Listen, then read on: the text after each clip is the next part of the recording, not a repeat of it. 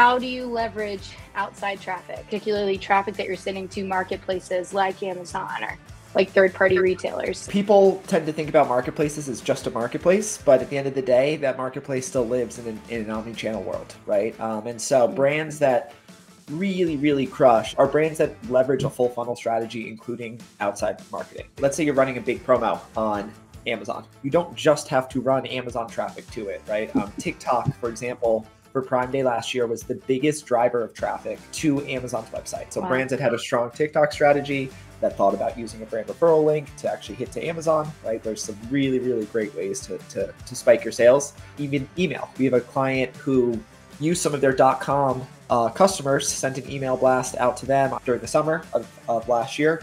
They did over $200,000 on a single email. People just don't think about the power of that outside traffic, but should definitely be yeah be utilized. If you have your own media channels, this could be for a B2B SaaS company, this could be for ecom, but like if you're doing your own podcast, you know, wearing your merch a month leading up to it, wearing, you know, whatever you're selling, especially if it's like apparel, things like that, like how are you implementing that into your workflows? Like saying, hey, download this, we're going to send you a 20% off code for our beanie, you know, coming up because it's getting cold in San Francisco, right? And like we're doing a 20, 30% off crazy sale. So, I mean, the, there's just so many ways to use all of your channels and get really strategic, you know, a month leading up to it and teasing that you're about to give people, you know, a deal of a lifetime.